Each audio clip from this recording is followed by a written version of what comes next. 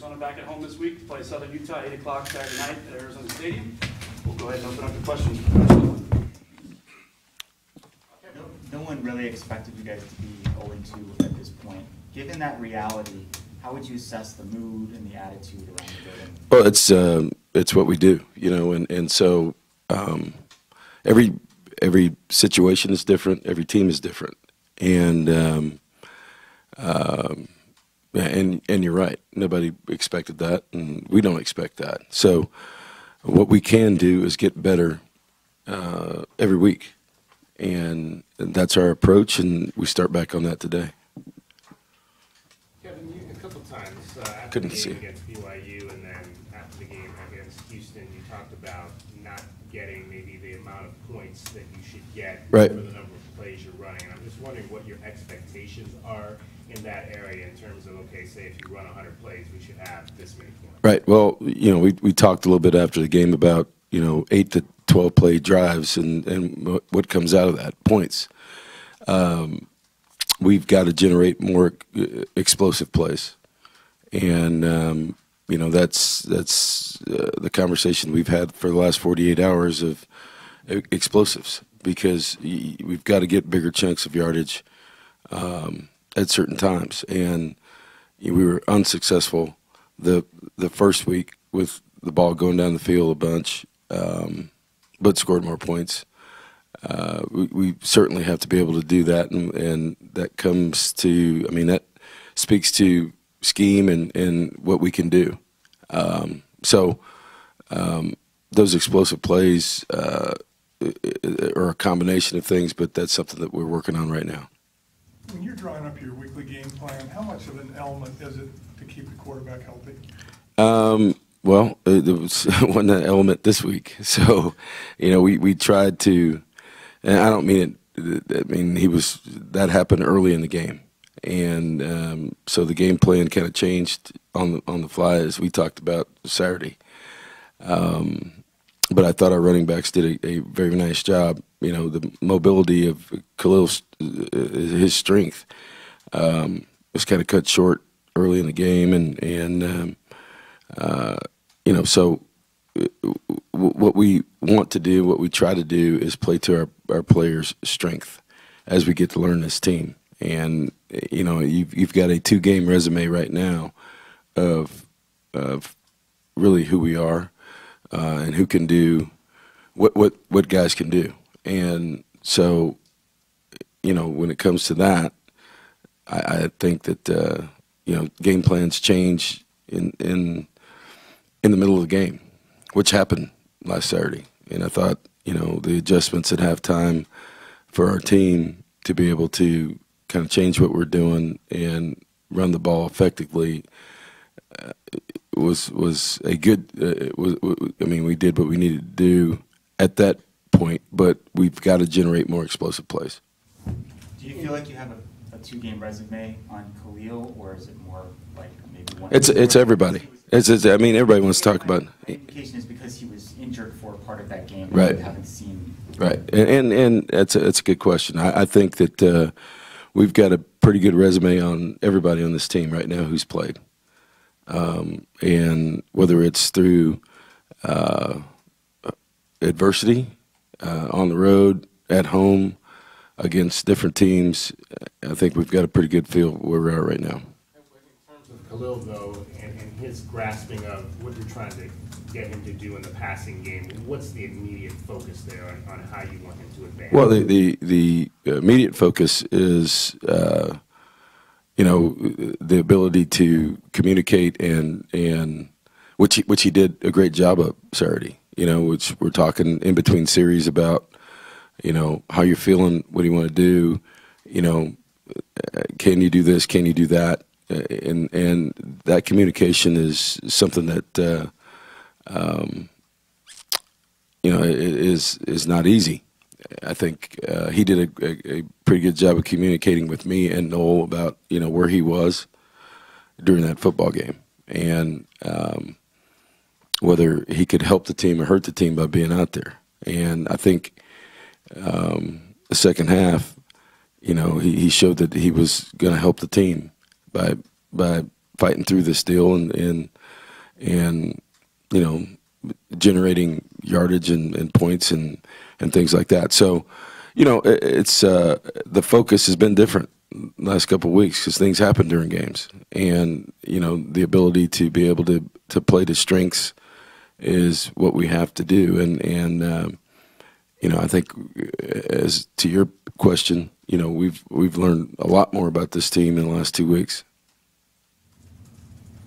Do you think Khalil's going to be hampered at all because of the ankle? I don't know. I mean, uh, you know, it's a long time till Saturday. Um, so, you know, he was in this morning. So, um, we'll see what happens. Did Johnny Manziel ever get hurt when you coached him? Yeah. What? Uh, no. Well, he missed one game, obviously. He missed a half.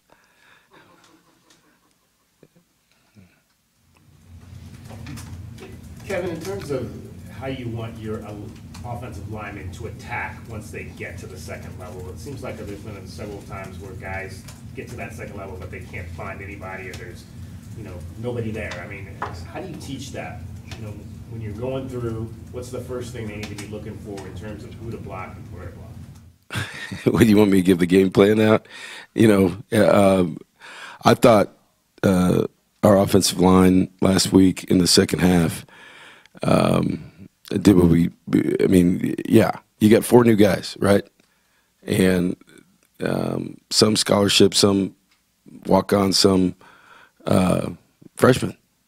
And to your question is, yeah, that that's going to happen. Um, but I thought, you know, you, the, the issue is to me, from a uh, protection standpoint, and playing against one of the better players in the country, um, in it, Oliver, um, really, I, I I thought in, interiorly there was a, the game plan was was pretty good to be able to run the ball and to protect it, and so there, you know, it, it's not what we want.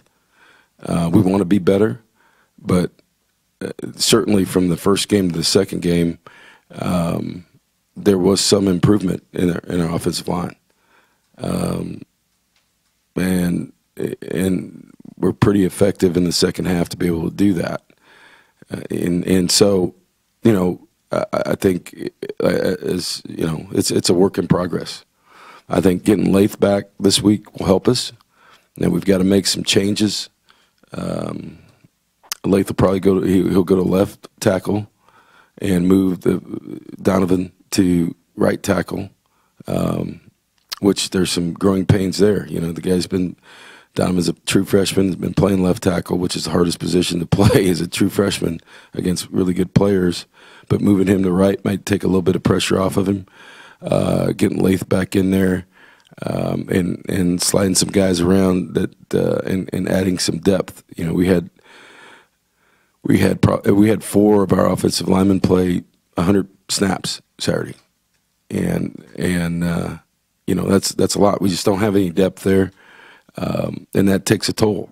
You know, and and getting Lath back will will help us be able to move some people around, maybe create some um, rotation in in in inside with guards and and you know be able to do that, but you know those those guys couldn't come off the field. And uh, um, you know they didn't always do the right thing but in, in I mean they they battled. And they, you see that in the second half from from from that whole offensive line. And yeah do we want to be better? Yes they want to be better um, but they understand what what their what their challenge is and we understand what their challenge is You laid, just laid out this plan of moving Donovan over to right, which would mean Cody Creason would go to. Probably he'll, he'll go to left guard. He'll be a guard this week, which I think. I mean, he has done everything we've asked him to do at tackle, but he's probably better uh, suited to be inside there, um, just to give us some some you know experience and and size inside. Um, What is it about Donovan that has stood out to you guys? And it's pretty unusual for a true freshman to, you know, I know, I know the circumstances were such that. It's it's, it's more putting him in there. it's more of a circumstance. Uh, I think it, that uh, you know you you play with the cards you're dealt, right? And uh, that is, um, I think he's extremely talented. Um, and in, in pass protection, he's been awesome. He's still learning, you know, what to do all the time. And, and you're to your point about the second level, you know, things are. It's not like when you put up a card or or, or have a, uh diagram. These, these guys are moving after the snap too. So, you know, it's been a real learning learning experience for him. And you know, he's he's very athletic. He's a, a, a big man for 18 years old, and you know, he's only going to get better. And I think the experience that he's had in the last two weeks um, has has helped him. And so, you know, athletically and size wise, he's he's exactly what you're looking for um, when it comes to uh, an offensive lineman. When you talk about Khalil's ability, say about those sideline conversations, about what he's actually seeing and how he's going about communicating what he's diagnosing? Yeah, I, I think uh, you know it was it was about his where he was as, as a you know health wise. Um, I think it's about where he was with what's going on on the field. Uh, I think communication was was was good with him. Um, you know, it, it's it's like that. You know, there's there's you're going to get to points in, in time where you know things are going to happen, and so that that communication with Khalil has been has been great. Did you have a sense two weeks ago that there was going to be a lot of difficulty in these first two games? Um, I don't know if it was a sense. I mean, it's it's it's a uh, you know when you're in a, a new league and a, a new a new team, uh, and I said this what two weeks ago that you know you you you you really don't know until you get on the field with other other other teams, and uh, you know and uh, you guys asked me before the first game, you know what what we thought, and I just you know I said we'll learn we'll, we'll know more at midnight, and we're learning more about this team, and I think that um, you know there's been some what you've seen is two things that. Uh, we there's been some personnel changes across the board. We've got three of our better players coming back, hopefully this week. We've got uh, um, a, a lot of moving parts, but uh, the one thing that is encouraging to me is that when challenged, uh, these guys in the second half have not quit and have, have, have you know continued to play. And, and we played a lot of young guys last week. Um, and we you know we're still not into conference play. So to me, you know, we're we're finding out who uh, who's who, and uh, and we got to play through our strengths. Defensively, you guys haven't had a sack or a takeaway in That's- the first two games. Um, what do you think is going on on that side of the ball, and how can you start generating those those types of? We've seen a lot of max protection um, because of our movement up front. I think that uh, you know it, it, we've, it's a, a two part problem right now. You know we've we are not we haven't we've run a lot of plays offensively um, and don't have a lot of points to show for that. Uh, we haven't. It's it's not just the sacks, but we haven't gotten a turnover either. So, um, you know that that can dictate a lot of different things. So, you know, schematically, we've got to we've got to generate some more uh, negative yardage plays, and uh, you know that, that's that's just the bottom line. How would you assess tackling so far through the first two games, just based on, have they improved significantly, or how much further do you need to go in that sense? You mean from game one to game two? From, from like, when you first saw them, your first impressions to now, and then. Well, it's a you know practice is different because you only have so many tackling days, right? So, um, uh, you know it, it, it that that could improve too. There's when when you've lost two games, right? There's a lot of things you got to improve, and um, you know it's not just that; it's it's across the board. Speaking of improvement, what has allowed Shawn Poindexter to kind of make this jump that we've seen in the first two games offensively? Well, I don't know what what he did before. I just know he's a good player, and I said that during fall camp, and um, you know he's going to continue to improve. Did Khalil ever take a hit during training camp?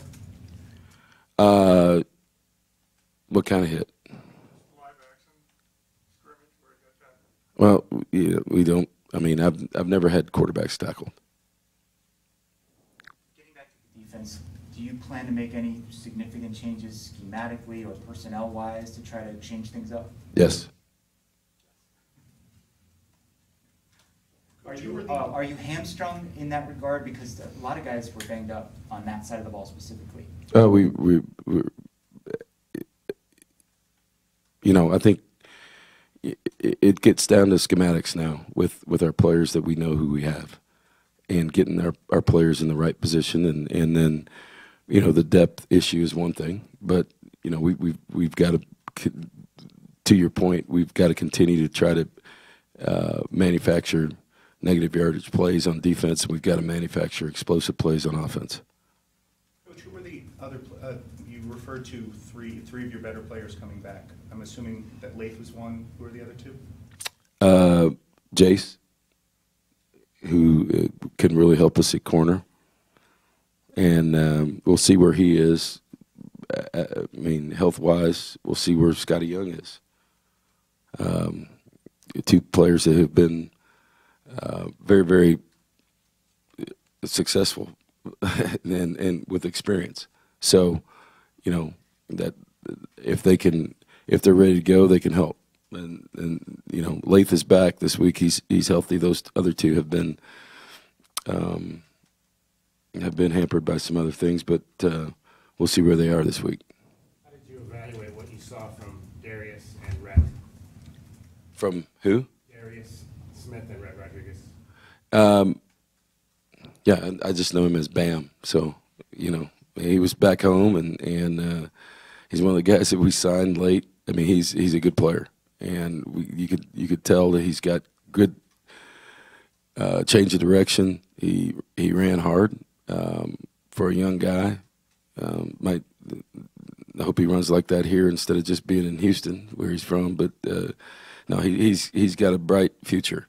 Um, and then Rhett, you know, obviously, um, was he four for five? And he missed one on running left and, and trying to throw it to that side. And but uh, he operated well, and uh, you know, he, he's a guy that's uh, is is very very capable of, of playing winning football. We saw him in his first two passes, he threw to the tight end, and it doesn't seem like Khalil is, is throwing as much to the It's a, that's all sch- schematics. It has nothing to do with those guys were in the game too. You know what I mean? So uh, Bryce and, and Jamie, um, you know, uh, to your point, you know, Jamie had what two catches too. So with Khalil, Do you stump for those guys Huh? to some degree because you're coaching them? no, no, I just was letting them know that you know that's just they both had the same amount of catches from two different quarterbacks. Derek Bowles and Demetrius Flannigan-Fowles left the game and were unable to return. Are those long-term type of deals, or do you have any idea? I'll know more today. Um, you got uh, Bam, uh, Day Day, uh, Mackenzie Barnes, other freshmen got a ton of playing time. What is the value in that for those guys? Uh, the, the value for this this team is, uh, and those guys did a nice job. I think um, just individually talking to them last week, uh, two weeks ago, first game, they were a little bit, little bit overwhelmed. Um, Day Day in particular, he said, you know, I wasn't ready. And then you get an injury, you get you know, guy come out of the game. Uh, those guys did a nice job um, in, in regards to special teams and and playing. Uh, so the comfort level of them and the speed of the game, you know, until you're out there, you know, you think you know, but you is what's that Jim Moore deal, senior? You think you know, but you really don't know, right? So until you're out there, you don't know. And those guys, eh, the young guys who hadn't played, I thought they did a nice job of growing from week one to week two and it was evident. And we felt comfortable as they played in that game. Uh, they did some some really nice things, and they're only going to get better. You talked about how, running game was better, but how did you evaluate the fail of the one-yard defensively there? Well, it's just, uh, you know, I think I answered that after the game. I mean, you, you watch it, and uh, you got two guys that that uh, just got. I mean, it was it, wa- it, We ran the same play. It was kind of a point, just to make sure that uh, our our our team understands it, and and it's a point that um, um, you know right or wrong, that's what we wanted to do. And hopefully it's a, a learning experience because things are going to happen down there. And, you know, when you, you, when you need to get a yard, you need to get a yard and a half a yard. And so um, that didn't happen. And, you know, we, we, we, that's where we've got to get better also. Quick follow on that, though, They, we, that they, it was a little bit of movement on the on the defensive line, and just slanting, angling that we didn't pick up. in, in those situations, would you consider going under center versus shotgunning out of those situations? Well, it's uh, it it depends on who you are. So, you know that hasn't been a problem, um, but uh, we, we're the team that we are right now, and uh, you know moving under center is not as easy as as people would say it is when you're catching hundred snaps from from the center. Is it? All right. Thank you.